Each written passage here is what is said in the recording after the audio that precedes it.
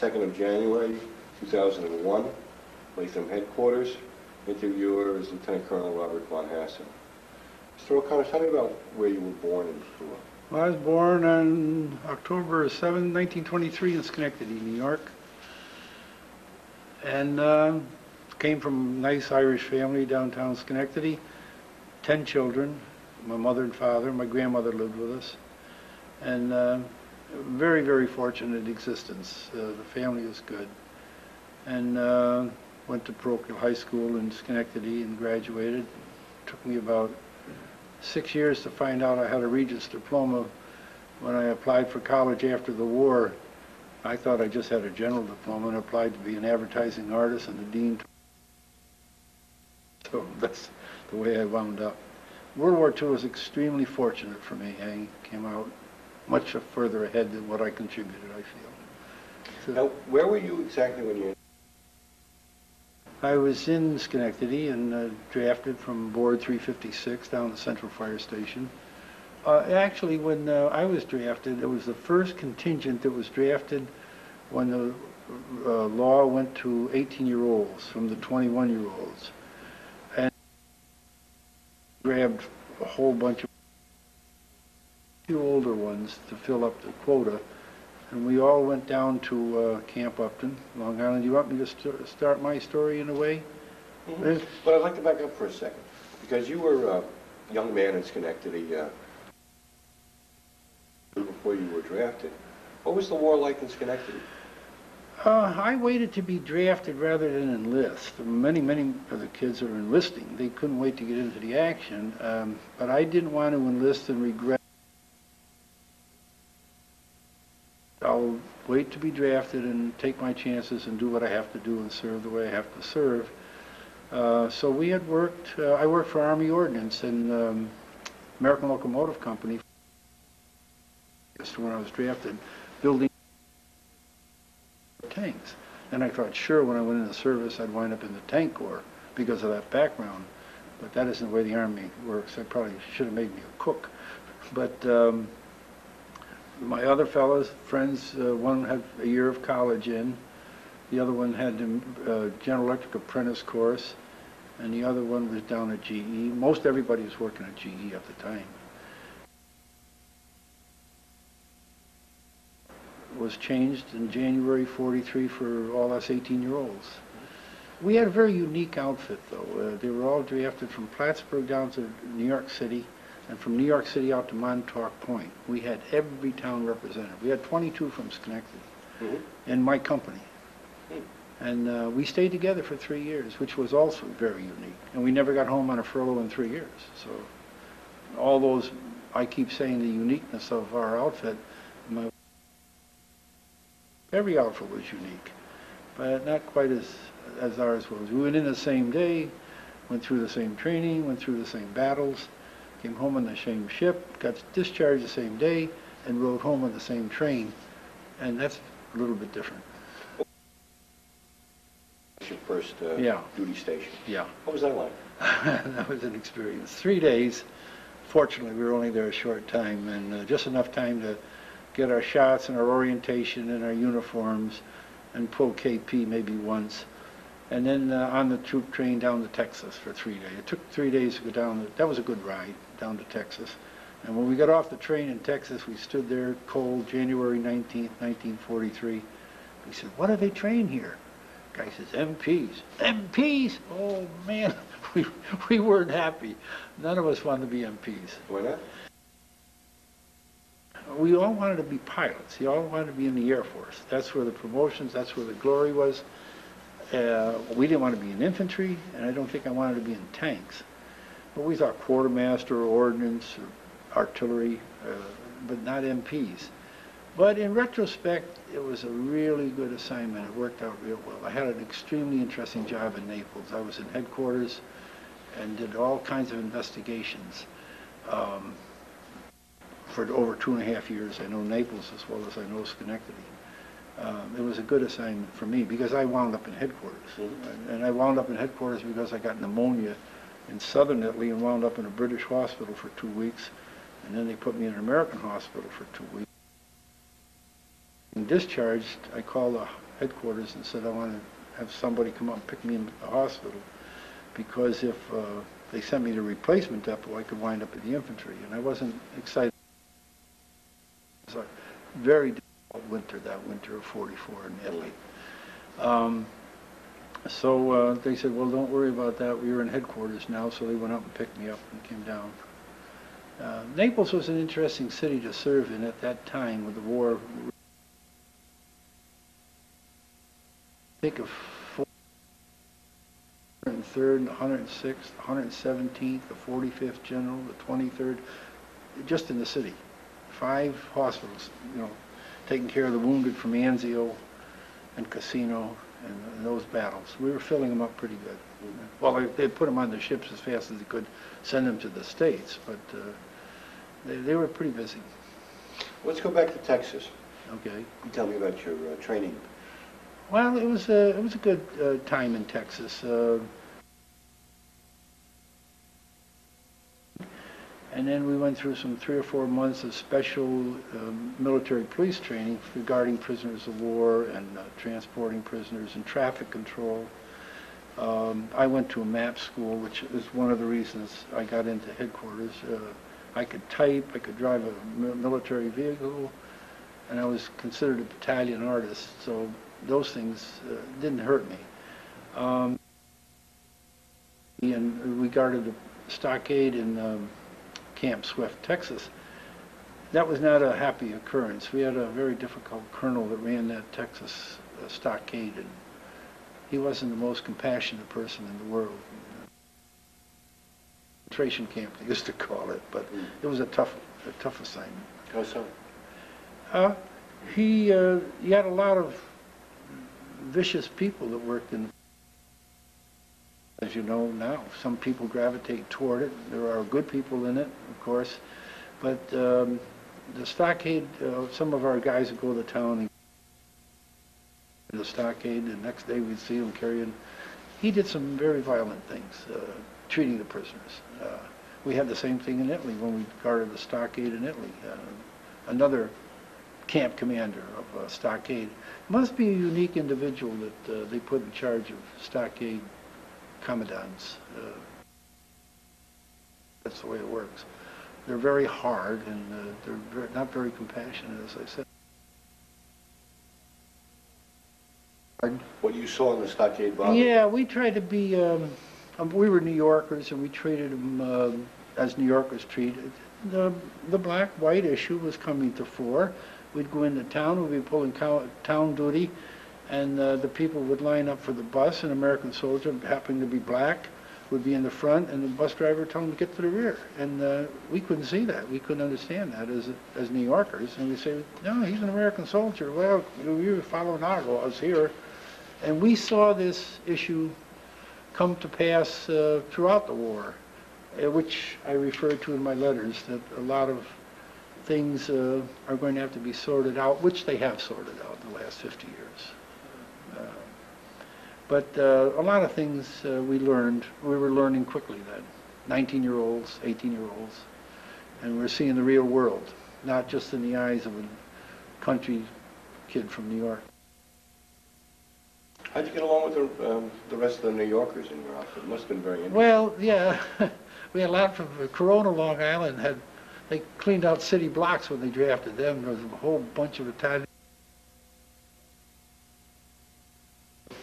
Our cadre came from Minnesota, Fort Snelling, Minnesota, and our medics came from Illinois. And uh, they thought we were smart, smart aleck New York. Brotherly, very close, very close. Um, the New York City boys, we we didn't treat them uh, like. One kid saved my life, and I still get together with him. Tony D'Amelio from uh, Corona, Long Island. What a hell of a kid he was. He went and got the medics for me when I had pneumonia in Italy, and I credit him with saving my life. Mm. So we we still have dinner with him in Florida now. But uh, they they turned out to be good, pretty good kids. What was it like being in the South? I mean, coming from upstate Well, uh, we liked Austin, Texas. That was kind of nice. We, uh, and then I was in this map school, and we'd go swimming. We'd, we'd do map studies in the morning and draw military maps.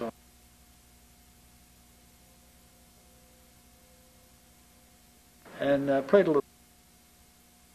We didn't care to go to town that much, actually. Uh, The camp had everything we needed, uh, movies and entertainment, and uh, we didn't, we didn't go to town that much. Uh, There that long, actually, seven months, and most of the time we were quarantined for one reason or another. So it was a good hitch in, in Texas, and we were glad to get on the train, but had no idea where we were going. And uh, were all kinds of rumors. Fun, one of the funny stories was that the little kid from the Bronx, Marty Brodsky, uh, we're all guests. Duty in Washington D.C. We're going to guard the Capitol. We're going to go to this and that. And Marty Brodsky in the uh, in the Post Exchange one day says, "I hear we're going to Camp Shanks, New York." Well, the MPs grabbed him, took him into headquarters to quiz him. Where'd you find out? Find out what? Where we're going? Well, right away then we knew where that's where we're going. Well,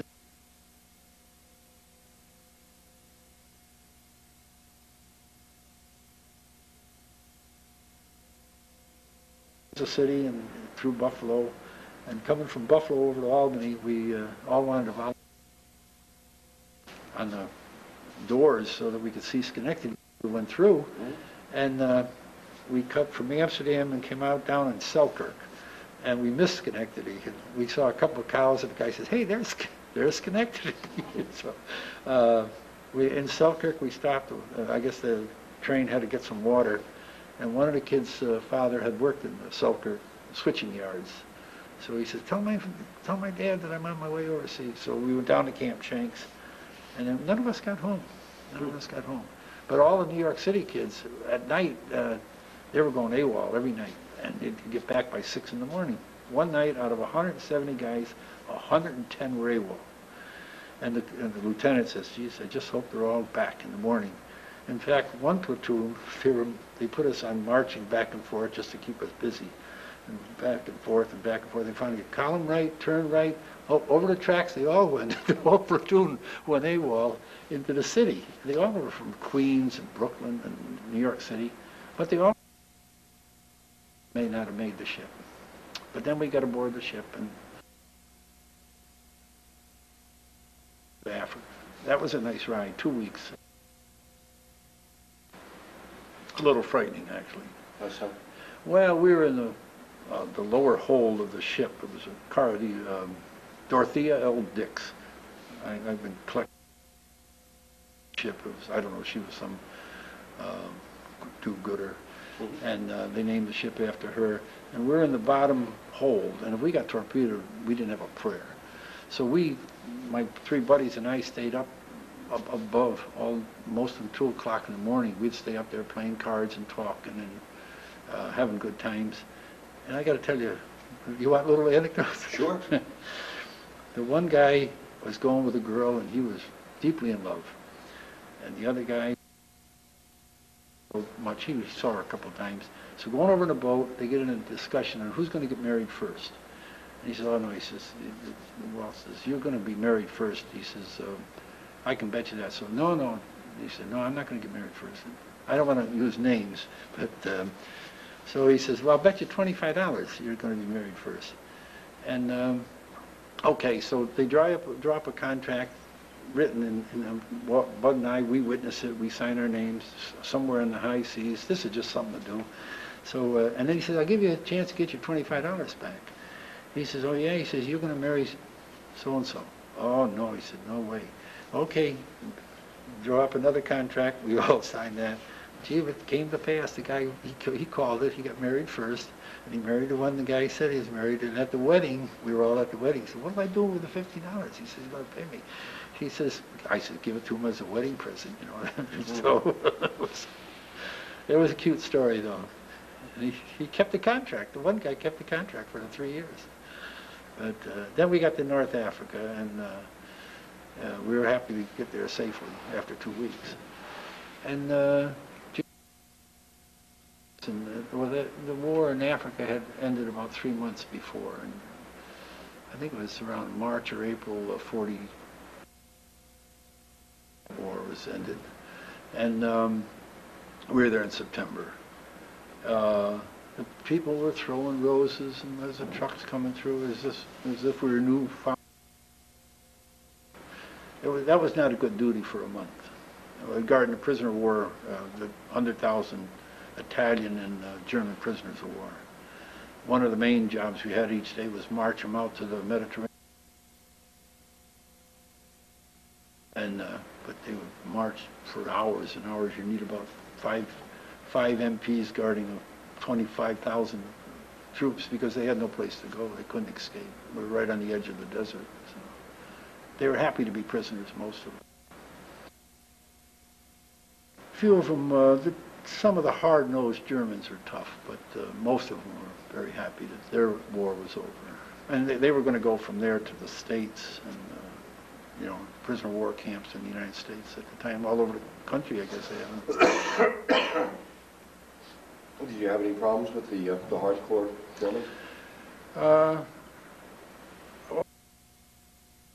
At all. The, the, the Wehrmacht, uh, the general, uh, we, we we admired their discipline, their abilities, their fighting spirit. We- We admired them as the soldiers, and they were, most, in most cases, they were pretty up and up, and they followed the International Tribunal on, uh, what do they call it, military justice, or Code of Military Warfare? Yeah, a long war. Most of them followed, except the Malmedy massacre and those type of things, and then the SS troops that, uh, the Ardeatine massacre in Rome, which my buddy and I went in and helped liberate. Uh, Those type of uh, occurrences, uh, we didn't care for the SS troops at all. The other troops, they did their job as they believed in it. And uh, we did ours. So We were lucky. How long were you in North Africa? Pardon? How long were you in North Africa? Only about a month, only about a month. And then uh, we got aboard our troop ship and headed for Italy, and Sicily was just being invaded there. They're moving up through Sicily fast. And uh, we waited in Bizerte Harbor for maybe a day or two, and then went straight across to Naples, and they unloaded us in Naples, and we landed by Higgins boats on the beach because uh, still mined. Naples had just fallen about There was supposedly October 1st, 1943, there were four days of street fighting when the partisans. And then we came in on the 6th, and Ciano College outside of Naples.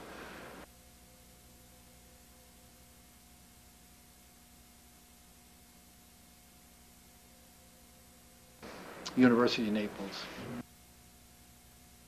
And we moved from there on out. And then our, our campaign started. Those were the worst days of our war, was from October 6th, 43, to June 44, when we took Rome. See the artillery, and we could hear the artillery. We were 10 miles behind, so we were somewhat safe. But we had a lot of, uh, a lot of air raids, um, landmines, strafing, and that sort of thing. But just enough to, up close enough to not have to wear a tie and, uh, and not have to salute, and not close enough to get killed, somewhat. Well, this time you were still guarding prisoners of war? Uh, no, it- we- in the Naples, we were uh, at all kinds of duties, uh, traffic control mostly, and uh, the port, uh, to guard the shipping that was coming into the port. Naples was really hand traffic into Naples than, um, than New York City. We're supplying the American Fifth Army and the British Eighth Army. Uh, Plenty of, plenty of traffic, so that was major, uh, major job there.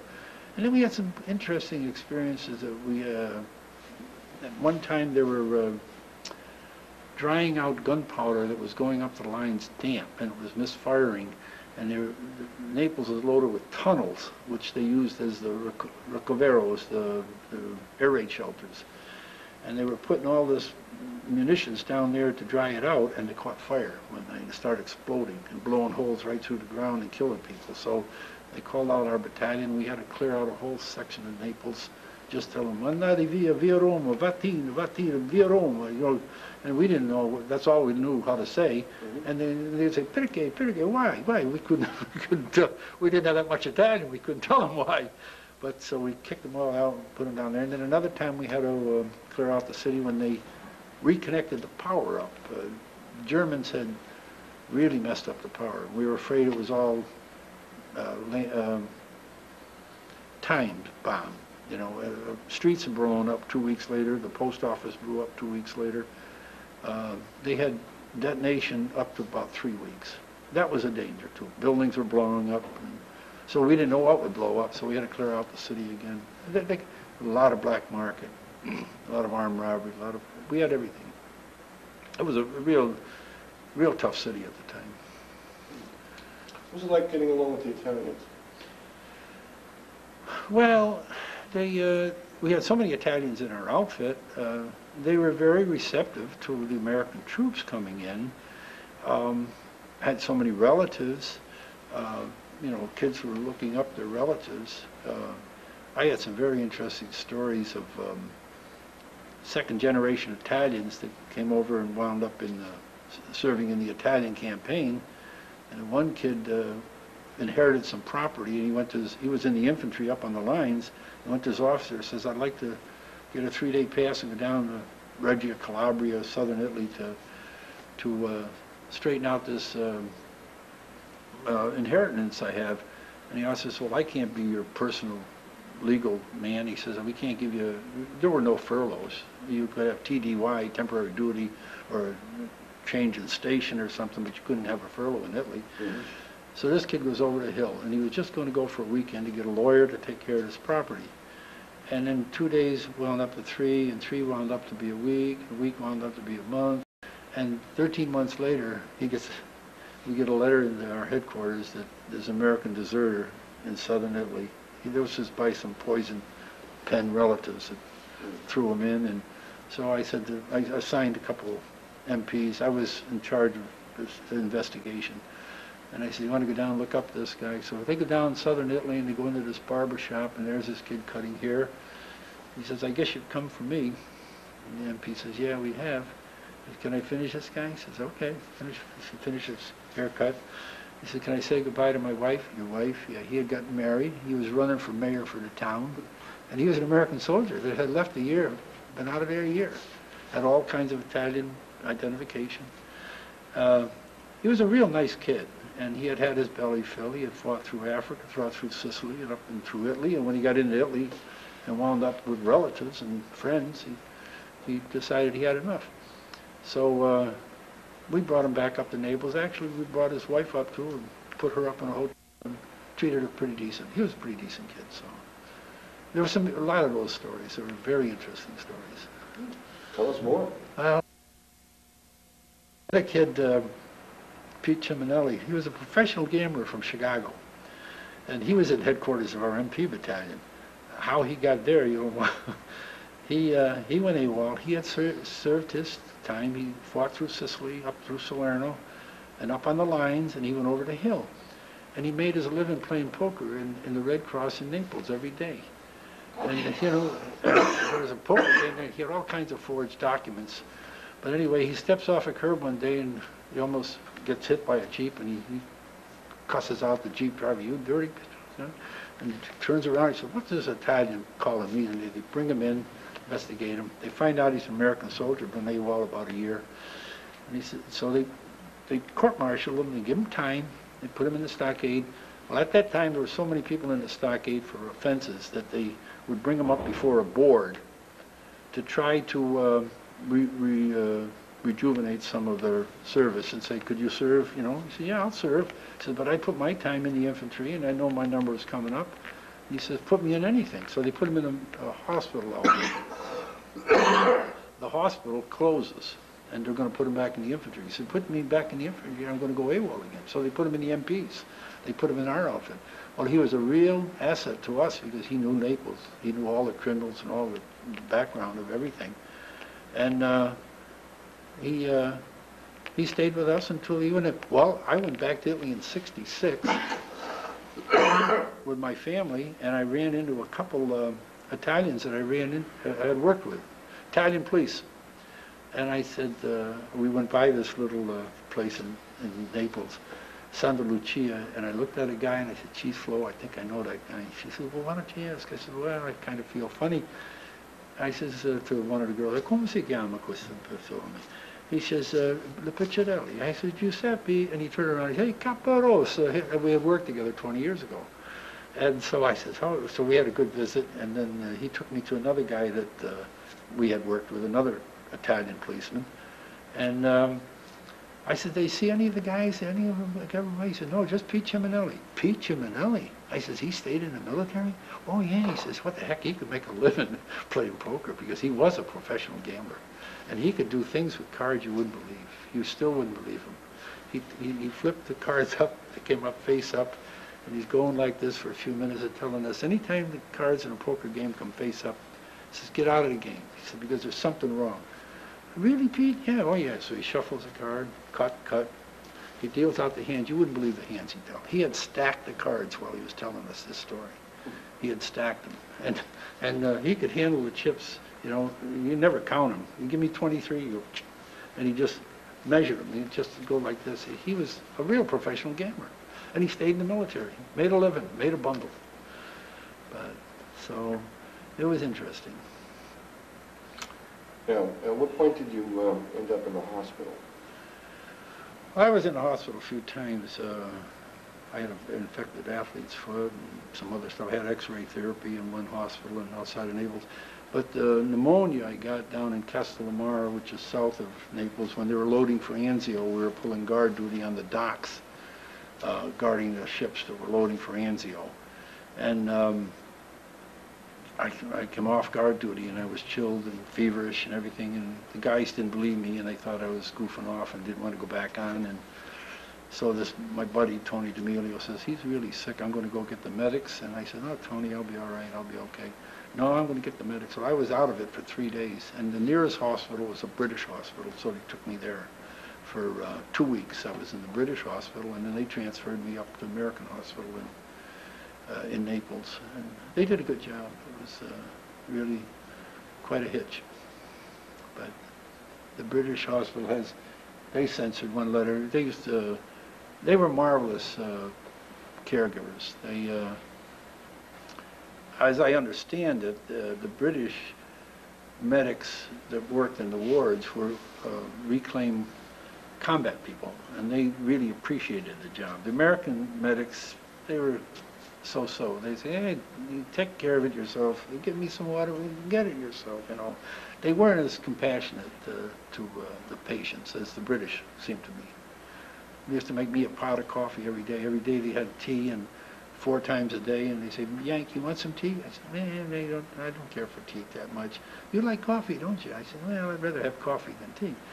So they used to make me a pot of coffee every day. I was the only American there, so it was cute. Had, a, had an interesting one happen. Uh, well, Flo and I went to, to London in '89, and I got talking to these two old women about the Battle of Britain, and they were celebrating uh, the Battle of Britain. And they showed this uh, program from Westminster Abbey, and I said, "Oh, gee, that's very nice." She said, "You can have it." I said, "Oh, I don't want to take your program." Maybe she said, "You can share it with your buddies." I said, well, that's very nice of you. So Flo said, let me take your picture with these two women. So she takes my picture, and I say to him, if, uh, if the picture comes out, I- I'd like to send you a copy. She says, oh, okay. So she gives me her address in London, Pat Hawes, and all her address. And when I get back, the pictures are quite cute. In fact, I still have them. And uh, so I mailed them two pictures. Um, at Christmas time, she sends me a Christmas card. I don't know how fast I could find those pictures. Um, she sends me a picture of uh, a memorial plot that she planted for Bill O'Connor and his army buddies from World War II uh, in a Field of Remembrance. Mm-hmm. Oh, I don't know where. It must be in the other one. So anyway, it, um, it was quite touching. You know, the whole plot had gone to Bill O'Connor and his army buddies from New York. It was neat. So, Let's go back to Naples. Um, what were some of your other duties there? After you got out of the hospital, you went to... Well, I went into headquarters? I drove for a while, I drove a two and a half ton truck uh, for um, supplies. Uh, Well, it it intrigues me about the war at that time, the amount of supplies that would go in. And every outfit drawing supplies for a thousand men a day. How many men do we have? Uh, We only had about eight hundred. But they would draw the supplies and then the company would break, the battalion would break them down into four companies and give a little extra for headquarters. And then the mail, uh, getting the mail moved up. uh, The war scene is interesting. That kind of war scene was extremely interesting, supply-wise, logistics.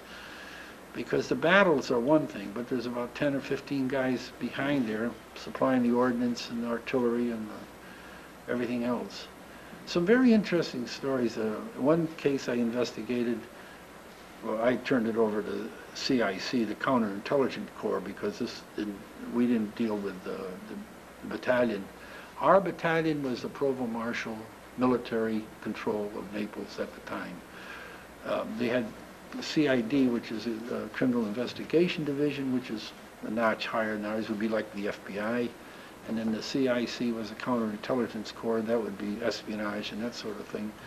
Um, We get a photograph, comes across my desk, there's a P-38, a brand-new P-38, that some lieutenant had defected and flown just above the Anzio line to a German airfield and turned it over and gave it in to the Germans. Brand-new P-38. And um, this doesn't seem almost plausible, It doesn't seem believable, but he was ticked off that he didn't get promoted to captain. And the strange part was, a month or two later, his promotion did come through to captain, but the more interesting part was I met a photographer after the war from Schenectady that was in the outfit that that P-38 was assigned to, and it was a brand-new P-38 that they had flown over from the States or brought over from the States, and was the, the colonel's plane. And this guy had turned it over to the Germans. But this guy verified my story. Now, most know about that story, because it just, uh, they were pulling guard duty or, one of the bad uh, assignments our company had, D Company, uh, was guarding the prisoners um, in the stockade were mostly American prisoners. They did guard a few German prisoners, uh, war criminals, and they hung a couple. They hung a, and they hung a few Americans uh, for rape in, in the stockade at the time. And they had to fall out and witness these things. People don't know those stories occurred. They hung, uh, they hung a few American soldiers and a German, and he was given autographed pictures to our guys. It's interesting uh, that those things aren't even written about, pretty much. Did you have to fall out to witness? No, no, but I had a captain in our outfit, he was a Texan, San Antonio Texan. Oh, we're gonna hang a big one today, about 220 pounds. He couldn't wait to go out and see that. And he'd go out to the stockade first thing in the morning to witness that hanging. And it was a little gruesome to me. No, I didn't have to. The- These, the other guys in our, uh, are my four buddies, uh, three buddies did. But th- that was an awful assignment, that uh, stockade deal. They had that uh, very vicious uh, commandant. He was, he wouldn't, he wouldn't uh, authorize medicine for the guys with venereal disease. Uh, He said, they, they got it, let them pay the price, and, you know, this, that, other thing. He was a real tough cookie. And we had a real good medic from Rock Island, Illinois, who I also looked up after the war. Uh, We call him Doc Potter. He had been two years in medical school and two years as a pharmacist in the Navy, and he was really knowledgeable medical-wise. And he really wanted to um, go after this guy after the war. But he, you know, it's all forgotten when you get home and let it go. In fact, General Mark Clark wasn't too well revered by the Fifth Army troops. His 36th Division took an awful pasting five times across the rivers and got thrown back every time, and they wanted to court-martial Mark Clark, too. That didn't go anywhere either. Uh, Doc Potter told another cute anecdote. Going over, he was, I didn't find this story out until we got back on our honeymoon. My wife and I stopped in Rock Island, Illinois 49 years ago and visited Doc Potter. We go out to his country club. I didn't know he was a millionaire. He was only a sergeant in our outfit. He owned a bowling alley and two ice cream parlors, and he was head of the VA for 22 counties in Illinois. And so I called him up. I said, hey, Doc, this is Bill O'Connor. Oh, boy, come on over, we'll go out to good dinner. So we- he took us out to his country club where the Western Open was being played. It was really posh, and we were, we were on a budget of peanuts. So anyway, we get at the bar, and we're, we're talking about war stories, and he tells me how he was court-martialed going overseas on this Dorothy L. Dix ship for mutiny on the high seas. That's what the charge was. But it was a stupid story. And the guy that caused it was a guy named Ferris from Texas, who was a, who was a sergeant, and uh, he was a sergeant in the detail, and we had s- give names uh, for KP in the morning, going over in the ship. Uh. So anyway, going over in the ship, he, uh, he assigns Potter to go on KP in the morning. And Potter gets up, he was a corporal at the time, and he gets up in the morning, and he says, you know, I don't have to go on KP, I'm a corporal. He said, Potter, you go on KP. Okay, so he goes down and he reports to KP, and the, the guy on the ship says, you know, I don't have your name listed here, so you can't eat breakfast before. So he says, I don't care what you do, go back to your boat. So he goes back to his bunk, and, uh, the next morning, Ferris tells him again, I told you, Potter, you go down on KP today. He says, I'm not going to serve KP, I'm a corporal, I don't have to pull KP. But he says, you go down there, you'll be in charge. If he goes down there, and they, they wouldn't, um, they wouldn't serve him again, so they send him back. So the third time he does it, Potter refuses to go down. He says, I'm not going down. He says, you're just trying to break up my sleep. He says, you refusing an order from a non-commissioned officer? He says, yeah, I'm refusing it. He says, okay, you're under arrest. They get guards, they put him under arrest. He's on uh, mutiny on the high seas. It's almost hilarious. So they bring him up on charges, and they have him arrested for two days before the captain can hear the, the charges. Well, Potter happened to have a lot of influence, and there was an artillery outfit on our ship going over, and uh, he had a, uh, an officer in that outfit that he asked to be his legal counsel. So the, the, the, legal counsel comes up, and they come before the captain, and when they tell the story, the captain couldn't believe this stupid story that's transpiring. He says, how long you been a sergeant? He said, I've been a sergeant three years. He said, three years too long. Case dismissed. so he threw it out. And um, Potter was telling me the story out in Rock Island, Illinois, about five, ten years after the war. You hear an awful lot of stories after the war that you never knew happened. Like our one company, we understand they got a third battle star because they were up in the Po Valley. So when the points came out, we're going to get discharged. Uh, they decide that uh, they get one more battle star. They came out a little bit earlier. So you want We're gonna take a break from minute. to? I got wound up there. Unique job. I was in headquarters of the battalion. I was a corporal. I had a tech sergeant over me and a lieutenant over him. And both of those guys could care less about the investigation. One guy was living with a countess, and the other guy was, I don't know where to be found, but they sound all the papers. And I took care of the cases and assigned, I had seven Italian policemen and seven GIs that I would have as teams, two-man teams, to go out and investigate. And then bring them in. So I have this one, little Italian guy brings his daughter in one day with a GI, and the three of them are there, and I said, what's the problem? And the Italian guy says, it's a man, he made my daughter pregnant. He got my daughter pregnant. And uh, I said, well, did you, you know, fool around with it? Goes, Well, yeah, he says, everybody in our outfit did, but my outfit's all in the Seventh Army. They went and invaded southern France. I happened to be in the hospital. He said, but she was common ground for everybody. And I, they just wanted a trip to the United States.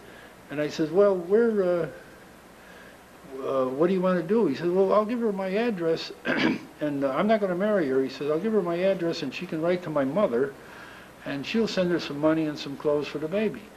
I said, okay, where do you live? He says, Schenectady. I said, Schenectady, New York? I said, that's where I'm from. And so anyway, we record this, and that's the way the case ended, because the government wouldn't make him marry her. And uh, most of them were really prostitutes looking for a trip to the United States or a cash settlement. Mhm. But then the other one was a couple of GIs that got in a confrontation in a park which was really populated by all the prostitutes in Naples, and they're on their way home from the infantry. They didn't know each other, they weren't friends, and they get in a big hassle over a couple hundred bucks that was in a cigarette case, a plastic cigarette case. So they come before me, and I, I acted like a judge, Judge Judy at the time, and um, I said, well, and they both claimed ownership to this thing. I says, well, where did you get it? He says, well, I bought it on Via Roma. He says, oh, yeah. I says, do you have a, you don't have a receipt? No, I said, I don't have a receipt. So I, I determined that the one kid had owned a, a cigarette case. And I said, how do you know? He said, well, there's a few little cigarette particles down in the corner there. And I, I that was, so So I turned to one GI home. I said, why are you guys making a federal case out of this when you're both going home? You know you're not going to settle it. And they both claimed ownership, and the one guy swore his girlfriend was very up and up and very honest. I says, are you out of your mind? I says, how long you known her? He says, two days. Two days. I said, he just met her two nights ago, and he's, he wants to give up. I says, I'm throwing it out. I says, just take your cigarette case, get out of here and get on your boat and get home. So there, there were, I had a lot of interesting ones like that in the investigation part, where the other guys were just pulling guard duty and uh, doing the routine job, but uh, mine was extremely interesting. But uh, we had all kinds of money available uh, on the black market. I had $100,000 in envelopes in a, in, a, in a trunk next to my desk that the government, nobody would know about. We had to turn it into Army finance. You know, we'd raid a truck. One night we lost five two and a half ton trucks off the port. Disappeared completely, truck and all. Uh, sugar was selling for eight bucks a pound, flour eight bucks a pound, uh, cigarettes uh, 20 22 dollars a carton. We were paying a nickel a pack, 50 cents a carton. Um, flour, sugar, coffee, eight bucks a pound, and two and a half ton trucks, five of them disappear one night. Well, we got a lead on one, and we pick up the guy, and what they would do is they would pre-sell all the products that were going to be distributed off that truck. And when the truck would pull into a place, they would, uh, in an olive grove or something, they would break it right down. Everybody would take what they bought, paid in advance, and they would all take off. So when you grabbed anybody, you would only have two or three pounds of sugar, a couple pounds of coffee, or a few cartons of cigarettes, and you wouldn't have any big case. But we would accumulate money like crazy, the, the, the black market money. And uh, one night I'm on CQ, and they, a couple MPs come in, hey, Bill, count this, we're going over for coffee. And they throw a bag on my desk with money, about 8,000 bucks. I mean, they, they handle it like, like paper. And I, I put it all in front, I had about $100,000 in those folders that we had turned into Army finance. Then I also was in charge of all the confiscated weapons south of Rome, down to Sicily. Burp guns, machine guns, uh, Lugers, P-38 pistols, Mausers, Berettas, all these guns, a a real uh, uh, trove of treasure, and- and all in the closet. And uh, I I wasn't interested, I wish I had. I, I took a P-38 and a Luger, lost a Luger in a crap game, and gave the P-38 away to a friend from Vermont. But that- that's part of the history. It was, a- it was interesting. I I had interesting work. So you saw a whole aspect of the war that, uh, that people don't normally see or read about. They wouldn't have any idea what the MPs did. Uh, Well, and I had a better job than the, than than the company guys, because they were, they went up to Livorno and uh, Leghorn, and they pulled guard duty up there aboard the ships, and, uh, no, I, I was in investigation in the headquarters. It was neat. It was a nice job. I did see quite an aspect of it. Uh, a- a Italian comes in one day and says he has a trip ticket, you know, from a GI truck what happened? He says, well, this truck smashed into his building. And I said, well, where'd you get the trip ticket? He said, the driver gave me that. I said, the driver never gave you that. And I said, that's his authorization for the vehicle. He says, he would never give that away. It's like giving his registration away. I said, you gotta tell me the truth or I'm not gonna do anything for you. No, no, that's the truth. That's the truth. No, I says, he didn't give you that. uh, I called the GI. He said, no, I never gave him that. I wonder what happened to that. I said, well, case out of court. See, I just, and it was interesting to have that kind of authority, is, is what, uh, what is coming to play now with our American police system, is the policeman is the judge, the jury, and the prosecutor, uh, when he pulls you over for a traffic ticket. He can either let you go, or he can fine you, or he can throw the book at you, and he's the judge, in a way. Did you see a lot of organized crime activity in there? When you call it organized, you mean mafiosa type of thing? No, Italy wor- works on a system of, of um, respect and uh, deference to anybody above you. When we first went in, uh, you know, a corporal, you go into a building, they'd click their heels and they'd salute you. Everybody was King Tut. And then after a while, it, it kind of, we didn't exercise our authority and expect that reverence, and uh, we didn't get it after a while. In fact, uh, another sad case, we were there about a month in the University of Naples, of this captain from Texas, he was a tough cookie. He was a good officer, good, good, good soldier, but he was tough. You had to either do it, or you're going to be court-martialed. And, uh, but he was, he was good to serve under. You knew he was going to take care of you. So one day he walks down the street and he's a time, bang, bang, knock into him, knock him off. He comes back to headquarters, and I happen to be on guard duty. He says, O'Connor, wait till tomorrow. He says, they may not respect me. They, they may not like me, but they'll respect me. But geez, the next day he walks down the street and the Italian's reading the paper, bangs right into him. Bing, he KO'd him right out the street, knocked him flat. Keeps walking down the street, bing, he hits a second one, bing, he goes up. So this guy was a tough cookie, so he comes back and says, wait till tomorrow. When he, when he goes out the next day, Italians were running across the street to walk on the other side. They gave him the whole sidewalk. He said, they don't like me, but he said, guy, my God, he said, they respect me. You know, and that was his belief. That's the way he believed.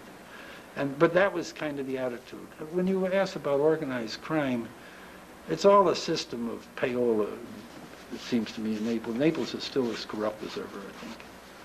I don't know, more so than Marseille, France, or Lyon, or whatever other towns would have a port, port cities. But um, there was a system, there was a system. We could, and we had to work within the system. And that's why I understand the police problem of today. That uh, when we had to get things, we had a valve pack stolen out of one of the uh, vehicles going through Piazza Garibaldi. Kids would reach right in and grab it. Well, a- an Army command car was wide open. They just grabbed this pack. And we wanted it back because there was aerial photographs in there that were important. So we, I put a couple of guys on it, Italian GI and Italian policemen. They go down to Piazza Garibaldi and they work within the underground of the kids. Bring them some coffee, bring them some donuts, pay them off, and by morning we had it back.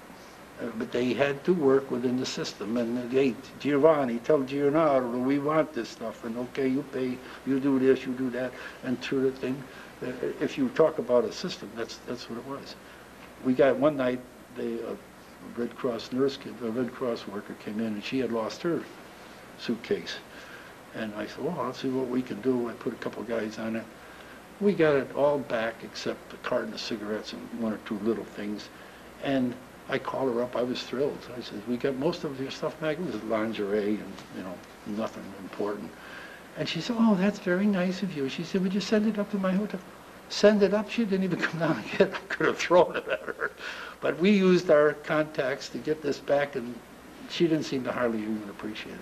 But those kind of cases were interesting, very interesting. But that's how you learn what happens in the system. Well, what was going on, with what kind of problems would you have with American troops behind the lines? What kind of trouble would they be getting into? Well, black market was the big thing. You could always make a pretty good buck. Even our MPs were working in the black market. They would sell some stuff. They, a lot of our MPs, I don't want to use ethnic uh, references, uh, would supply a lot of stuff, some, some in strictly in friendship ways, of family and relatives, different thing. Everybody had relatives there. Um, Black market was a big thing. We had murders, we had rapes, we had armed robberies, um, everything, everything in the books. Uh, Drunk and disorderly was just the, the lowest form, but uh, stolen vehicles, they, they, see, of course, the Jeeps wouldn't have keys, right? They just had a little toggle switch. And we were supposed to take the rotor out, you know, take the distributor cap off and take the rotor out, and, and and that would be your key, in a way. And then nobody should steal your vehicle. Well, we had military police vehicles stolen right in front of headquarters, you know, the infantry guys came back, they didn't care. In fact, they just would be thrown in jail, probably. But uh, the lines were, it was a very difficult war from uh, October through May and June till Cassino and Anzio broke and we took Rome. Uh, they uh, The Garigliano and the Rapido River and the Volturno, there were horrible, horrible battles and an awful lot of lost lives. In a way, I, I don't know whether it was necessary. I don't know whether Mark Clark was the greatest general in the world. Did you have more trouble with combat soldiers coming back to the rear, or? One of the, one of the big problems we had was breaking up fights between the infantry officers and the Air Force officers. When they'd come down from Foggia and Bari to go to Capri, the infantry took Capri, and the Air Force requisitioned it and took it over. The Air Force had the Isle of Capri for their rest center, and the infantry didn't have it. And, uh, and they had a couple clubs. One, one was the Orange Grove in Naples, and the infantry officers would come back, hell bent for election, and uh, the, uh, the, you know, the fly boys would come down. They needed each other in the war, and they respected each other and uh, uh, accepted each other. But when they were back in the back of lines, uh, there was a lot of animosity there. But uh, I guess it went by. Uh, between the ground troops, they, they had a tough life. They had a tough life. The Air Force would have dangerous missions. They come back to Foggia and have the quarter liquor and have their parties and good meals and warm beds and that sort of thing. And the infantry would be up there for 30 days. But uh, that winter, when they sent back to our outfits, we had to cut 10 men and send them up to the lines, and uh, few of them got killed. I visited the American Cemetery in Florence, Italy this summer, and visited two of my buddies that are still there.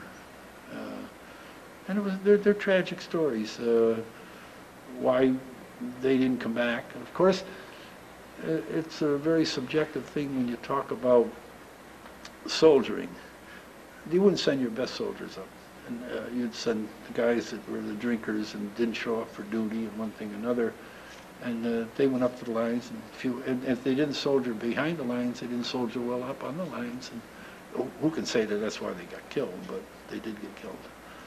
Uh, You feel a big loss. I, I felt very close to the war when I visited their graves. They, they gave up their lives for me to have 58 good years, real good years.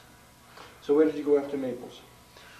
We went into Rome the day Rome fell, June 6, 44. Well, I think they say the 4th, but we went in on the 6th. We went up to Anzio, and then we moved into Rome.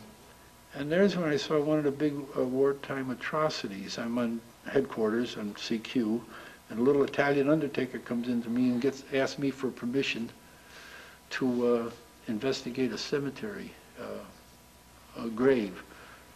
And I says, well, sure, go ahead. It doesn't matter to me. It's all Italian people. So uh, I tell my buddy, hey, Wager, come on, we'll get a vehicle, we'll go out and see this. So we go down to a place called Ardeatine Caves, the Ardeatine Caves in um, Via Appia. And we go in there, and Wager and I walk into this building about the size of a, bigger than a living room, and we walk around the pile of bodies that have been buried for three months, since they, March, March 44, the Germans uh, assassinated 320 Italian civilians. Do you know this story at all? Go ahead, tell us. Uh, uh, What happened, six uh, cells of communist groups, uh, the uh, clandestine 13, the Red Brigades, and four others, that were all fighting for power. And, but these communists were underground and fighting, and, the- and the Vatican actually had a better relationship with the Germans than they did with the communists. They were afraid of the communists after the war. They could see this political thing coming. And so they went along with the Germans in quite a bit of the way. And uh, one day, the Italians plant a, a barrel full of dynamite on the street as SS troops are marching by to um, change guards, and it blows up. It kills 30-some uh, SS troops, 30, 32 of them. And um, they decide that immediately they want revenge. Kesselring was the general, and uh, there's a whole bunch of other guys in there. The colonel, I I can't think of it, the German colonel was in charge of the SS there. They want 10 civilian hostages for every German they lost. So they're going to take 300 hostages, and they go out to the prison, the Italian jail, and they take them all. They took priests, children, Italian, uh, civilians, Jewish, everybody. It wasn't a, a Jewish issue, but a lot of Jews were in jail at the time, and they did lose 50 or 60 Jewish people, 100. And they take them out and they just machine gun them. If you ever want to read Massacre in Rome, it's a heck of a story, and most people don't even know this story. They machine gun them, they bring them into this cave, they're all manacled and, and tied with ropes, and they dump them in a pile, pile, pile. And finally, when they get done killing the 320, they blow up the cave, and, and they caved it in. So Wager and I go out there, and they had been digging, they had cleared it out, but can you imagine, I wouldn't think of doing it now, but these bodies have been there for three months, since March, uh, via uh, Rasella in Rome, March, April, May, June, they had been buried, and, and we walk around their bodies, they stink like anything. So we right around the bodies and out again, and he's visited, uh, my buddy has visited since, and there's quite a memorial to them now. Fosse Ardeatine, it's called in, in Rome. And uh, there's still a dispute uh, of whether or not the Pope could have intervened. It went all the way to Hitler. Hitler said, no, you know, kill him. Kesselring, the general there in Italy, uh, I guess he, he approved it too. But it was a interesting story, the way uh, they had to get drunk to shoot these people, just shoot them. Uh, and uh, that was one of the cases that we investigated. Uh, but it was totally civilian. It was a war crimes trial. And they did convict um, the colonel that was in charge. And I could look it up in here, but um, and he was in jail. He got life, and he's in jail in Italy. And ten years ago, he's dying of cancer, and his wife comes in, and she spirits him out of the Italian jail in a suitcase. Believe that story or not? That's written up here too. He was down to like 85 pounds or something, and she brought her big suitcase, and she used to bring him clothing, and she brought him food, and this one thing another. Well, I think to this day that there was some payoff in there, you know, with the police and and she got him out, but the story was that he got out in the suitcase. And Italy wanted him back again to have him go back to jail and die in jail, but Germany and Italy didn't have an extradition clause or treaty, and uh, he died in, in Germany. But uh, the, the, those stories are, we, I keep getting little uh, snippets of information on them, and I, I save them. Someday somebody's going to read them and wonder what I've been saving. But it's an interesting story. How did you feel when you, when you realized that you were there in the middle of an atrocity scene? Have you heard When you're about these things before? 19-year-old, uh, it just rolls kind of off you. You knew it happened. There was no GIs involved. I would have felt a lot worse if it was the Malmedy massacre in France, where the Germans killed all our American soldiers. But I can understand the police mentality easier than other people can understand it. I'm not defending it, and I don't maybe agree with it, but you're expected to rise above human emotions when these things happen. Coventry, England was bombed by Germany. England knew it was going to be bombed, right? And uh, it was pretty well destroyed. Well, when the Ger- when Britain got on top of the air war, they bombed the hell out of Berlin. For what reason? It was mostly vindictive, just to get even. Um, many of our troops uh, in, in the Pacific, in, in Vietnam, My Lai massacre. Uh, to- to- whether or not uh, there was any purpose in shooting all the civilians or not, they, they just had their belly fill. And, and it's, it's hard to- to understand vindictiveness and uh, human emotions that if you're taking a pasting by somebody and finally you get a chance to get your licks in, what is enough? You know, I, all right, I hit him a few times now, that's good enough. Or you're gonna pummel him to death, you know? And so that's, that's hard to understand. Also, the temptation for graft and greed, we had that in the MPs. We had a case where uh, a GI comes into me one day while I'm on CQ in Naples. He was furious. He says, my, my, he was getting married in Naples, and they had invited some relatives from Rome. And at the time, there was only one road coming down from Rome, Route 7, and we had an MP roadblock on that road. And this one uh, in the course of investigation, we realized this one MP, nobody wanted to work with him, and he was extorting money from the Italian civilians. So this vehicle comes down with Italian civilians, and this GI says, uh, you got anything on this vehicle American? If, if they had spark plugs or tires or anything at all American, we could uh, confiscate it. It was American. They couldn't possibly buy it. Well, the guy says, no, it's all Italian. It was a Fiat. He says, what about the inner tubes? Well, the inner tubes, he said, they're Italian, they're Italian. Well, he says, I, uh, how can I be sure they're Italian? He says, I want you to kick the air out, let me see those inner tubes. But he says, how will I put the air back in? I don't have a pump. Well, he says, that's your problem. He says, I can investigate the, so anyway, he said, well, what's it gonna cost me? Thirty, forty bucks? He gave him forty bucks. And that's what this guy had been doing, extorting money.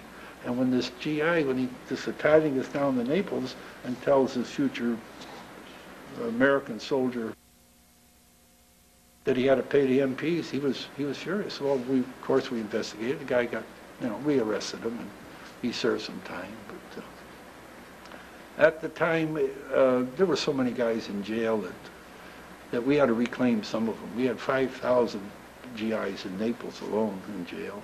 When we went through Rome, we lost 5,000 AWOLs that went over the hill when in Rome. Maybe some of them came back in two or three days, a week, you know, but when they'd been in combat and they finally took Rome and the, and the war didn't end, when they thought the war would end when we took Naples, and it didn't end. And then it didn't end when we took Rome. The, the, the Po Valley was another year. Oh, we took Rome June 6, 44, and the Rome did, uh, the war didn't end until May 45. So it was another year.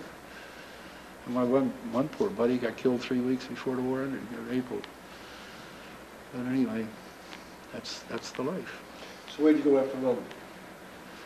After Rome, I went back to Naples. The other guys, one company went up through the Po Valley, and uh, one company went into Livorno or Leghorn, and I stayed in Naples in headquarters until the VE and VJ day. And then um, in November 45, when the war was over, they, they regathered the troops all together in Naples, and we got on the carrier Wasp to come home. And uh, that was a happy day. We were, we spent uh, Thanksgiving of 45 in Naples in the replacement depot. But that we didn't care uh, uh, whether we ate or not. We got aboard the ship, 5,000 GIs aboard the carrier Wasp, 3,000 Navy men. I don't know how they fed 8,000 guys for five days. But we only ate two meals a day. We got up in for breakfast, ate breakfast about 10 o'clock, washed our mess kit, and we took an hour off and then got in line for dinner. Ate dinner about 3 or 4 o'clock, and that was it. Two meals a day. Crap games all day long. Lost all your, all your money. But it was a good trip home. Wound up in Hampton Roads, Virginia, two days here, and then go up to um, Camp Dix, and we got discharged and got on the train and came home. After three years together. It's interesting. Now, what, what happened to you after the war? Well, that was another interesting occurrence. Uh, we're in the uh, camp in the tent, and a Schenectady kid from Mount Pleasant High School comes in to visit my three buddies and myself. We were still together, and he was information and education non-com for Camp Dix. And he says to one guy, "What are you going to do when you get out?" He said, "I'm going back to college." He had one year at SUNY at State University of New York. And then he said, the other kid, what are you going to do? He said, I'm going to go to RPI. He says, I had apprentice course. Now I can afford to go to college on the GI Bill. Third kid, he said, what are you going to do? He says, I'm going to work. I don't want to go to school. I I said, I don't know. Go back to work. He said, why don't you go to college? I said, where would I go? He said, well, you always liked to draw and you could letter and you were a battalion artist and this and that. He said, why don't you go to an art school? That's a good idea. He said, well, I got two books on Pratt Institute in the camp. He said, I'll give you one. Look at it on your way home. So I look at it on my way home. When I get home, I tell everybody, I think I'll go to Pratt. And he said, good idea. So I, I go down and apply for Pratt, and uh, I applied for the advertising design program, two-year certificate. And the dean looked at my transcript, and he says, you have a very nice high school diploma. He says, you have a regent's diploma from a parochial school. I said, I didn't even know that. I thought it was a general diploma. He says, you have regents. He said, why don't you become an art teacher? I said, I didn't know they had art teachers either. We didn't have one at parochial high school. He says, go over to the other school and see if you'd like to take a four-year degree course and uh, become a teacher. And uh, I went over there, and that's where I met my wife. So we're married 49 years, 50 years next year. So, so all of those things put together has given me a, a lot of payback for the war because I certainly didn't suffer. I, uh, I was one of the fortunate ones that came out quite a bit ahead. It was a good, good experience for me. Speak, uh, I speak enough Italian, France, French to get by over there. Had a good time. We went to Italy again this summer. Visited the National Cemetery outside of Rome, outside of Florence. There's one at Anzio with 7,500 guys, and one outside of Florence with 4,500 guys. And I look at those and say, I was lucky. Yeah. How, uh, when you're over in Italy now, um, it, it must be very different, of course. you know. Oh, it was long over with. Oh, yeah. yeah. But, And uh, do the Italians still remember? I got a sense this time that we- we went back to Italy in 66, and this is the second time I've been back. I got more of a sense that they're not enthusiastic about talking about the war. I don't think they're happy with their experience in the war. I think they got sandbagged by Mussolini. They paid a very severe price for a lot of devastation, a lot of destruction, and I, I, I sense that, uh, don't, don't exploit it, Bill, just, you know, take a very, like Cassino, bombing Monte Cassino, they're losing their abbey. Um, Naples took a horrible pounding for six months before we went in by Germans, but we pounded Naples. And then when we captured Naples, they pounded us for six months. So Naples took a pretty good pounding. Leghorn, Livorno was one of the most bombed cities in Italy, uh, the port there, because we were using that port. So uh, all in all, I think they just soon forget the war. I suppose the Germans would too. Of course, they both lost. Italy's uh, political uh, life after the war is interesting because um, I just finished a book, uh, The Secret Surrender by Allen Dulles, uh, about the, the Germans that wanted to surrender in northern Italy toward the last month or two of the war. They just didn't want to waste any more of their German troops, and we didn't want to waste any more of ours. And they were negotiating in Switzerland, and actually they came all the way down to Caserta, Italy, down where we were. I didn't know the Germans were there at the time, but they flew them in, and were negotiating for a surrender. But the German generals would not break their code of allegiance to Hitler. They had sworn allegiance. And I think they're also afraid of their necks, because if, if he found out that they had negotiated a surrender of the Italian campaign, uh, he would have killed them. He, what the hell, he killed 20 or 30 other generals, and he, uh, you know, when they tried to kill him. He hung them and slaughtered them, so they just wouldn't give up. But the minute uh, Hitler committed suicide, then Hitler, the the German, and that was a problem, that many, that many uh, prisoners of war. When you take in a million and a half troops as prisoners and have to supply medical and food, that becomes a big problem. People don't realize, you know, uh, even the African campaign, we had 100,000 guys we had to feed every day, three meals a day. They were eating better than we were, actually. We used to sneak into the prisoner of war camp to steal bread, the GIs, you know, but uh, it, it, it's, it's a uh, part of the war that people don't realize. If you look back now, what stands out the most? What impression has lasted the Well, longest? probably my good fortune, my marriage, my three great children. And my wife doesn't think I'll ever forget World War II, and I probably won't, because, uh, and I'm a collector, and uh, I have all the photos and all the memorabilia and the, the letters that I wrote home, and uh, my friendships that we made, those three guys, we're still together 55, 58 years later, get together for dinner, go to their camps. I'll, I'll meet one of them Friday down in Virginia on the way to Florida. Uh, I, I came out pretty, pretty nice. Why, why have those friendships stayed so close? A couple times, and in that one article that was in the newspaper, we had common values. We had common respect for each other, common interest. We all had commonality. I knew Walt a little bit before I went in. Don, Walt, and Bud knew each other, and we wind up in the same company. We just gravitated together. We had uh, the, we don't overdrink, we don't overgamble. Uh, we liked uh, dance and party. We, we double dated, well, 55 years now, so. And we, we get together for a lot of laughs about the war. One guy doesn't think he's in the same outfit as we were because the stories come out so, so different, you know, but uh, there's some funny stories.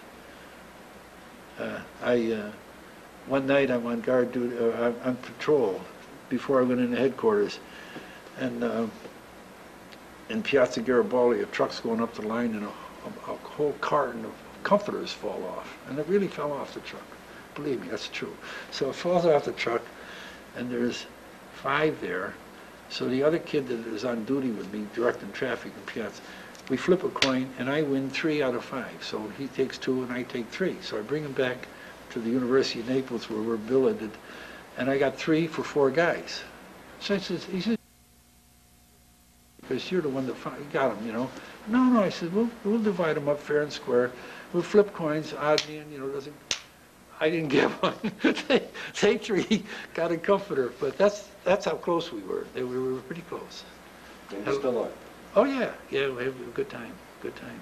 And that, that's probably one of the things that stand out. And my good fortune of meeting my wife, we were, we were in Germany this summer. We had a great trip this summer. And we go to Hitler's Hofbrauhaus, and we took a picture of it because that's where my good fortune started, when Hitler in, in 1933 made his big Munich push, uh, his uh, overthrow of the German uh, government. And I said, that's where my, my history started. So we took a picture of this, and we gave it to our children, and said, this is where daddy and mom, whole thing started. So you feel the war really changed your life? Oh, yeah, dramatically, yeah. And, uh, I would want another war. I would, I can't uh, envision any other war being as world war as that one was. I think of World War One, we were in there about a year and a half, right? 1970, April 1917 to November 1918. This one, we're in from 41 to 45. Actually, we we're in uh, 1940 when the draft started, but uh, we we're in about five years. But as I said, the British Eighth Army, when you talk of World War, Zealand, the Poland, French, Spanish, Italian, they even had a battalion of Italian reconstructed troops in the Italian army, and the Germ, and the British Eighth Army. But uh, this Irish, English, Scotch, Wales, everybody was represented, the- the Yugoslavs, and we worked with all of them. But that was really a world war. I- I would never want to see another, I don't know what the next war will be like. But this was an experience. Was this war worth it? Pardon? Was the war worth it? Oh, there's no question, there's no, Hitler had to be stopped. I mean, nobody, very few people doubt that. Although, I've met German uh, soldiers that uh, would uh, become citizens of the United States, and I got really good friends with them, you know, they're, they're good guys. And they still aren't opposed to Hitler. Hitler was good for Germany. They don't agree with the Jewish issue, with the Holocaust. They say that was wrong, that was wrong. But as far as Hitler was for the German people, same as Mussolini for the Italian people, he did an awful lot of good. He cleared the Pontine marshes, he organized the schools, he, he did a lot of good for Italy. They just went beyond what, what, uh, what was expected, and uh, they paid a, a very severe price. Uh, yeah, was the war worth it? It certainly was. You, have to understand the mentality of the country at the time. 98% were behind that war, 98, 99 maybe. Schenectady, you didn't do anything if it wasn't for the war effort. You didn't buy an extra pair of stockings or an extra pack of cigarettes or anything, the boys overseas. And it was really support. When, of course, it was a different era. When you think of uh, the telephone communications in this day and age. In Texas, when we were down there, we'd wait for Sunday when we could go down the post exchange, and the telephone exchange had a, a building. And we'd go in there, and we'd sign up to get a call into home, 8 o'clock in the morning. Then we'd go out and have breakfast and go to church and come back and we'd wait all day long trying to get a phone call through. And most of the time we didn't. I don't know whether I got one call or two calls through in seven months I was down there to home. Mother's Day would be, uh, Easter would be out of the question. You would never get a call through the telephone lines. It was the old, it wasn't the communication system they have now. But that type of thing has changed the, existence as compared to what we knew. Well, I think we're getting down towards the end of the tape. Sure. So is there anything else you'd like to add, Bill? I thank you for your interest and uh, to hear my story, and uh, I do hope somebody in the future gains some historical value out of it. Uh, There's a good book out, I was telling one of the other fellows here, that um, Gone for a Soldier. They're uh, resurrected uh, letters from Civil War. They were come up in 1962. Uh, 1962, yeah, 1862, it was 100 years later, these war letters from Civil War by a story. And uh, it's a very interesting book to read about 100 years later. Did you feel like similar experiences? Oh, yeah, yeah. Uh, Of course, his war in 1862, when they could pay to get out or pay to somebody else to take your place, um, their provisions, the way they were supplied, the battles they fought were so different than World War II. And our, our battles were so different than Vietnam and Korea and Kosovo and the Desert Storm. But when you read the book about the Civil War, did you feel like there were some common experiences? Yeah, being a lowly private, yeah, uh, homesick and that sort of thing. But in this, here, when we were in an integrated outfit like we were in, with so many Schenectadians, because their mother would hear from their son and call my mother, and there was a real good communication.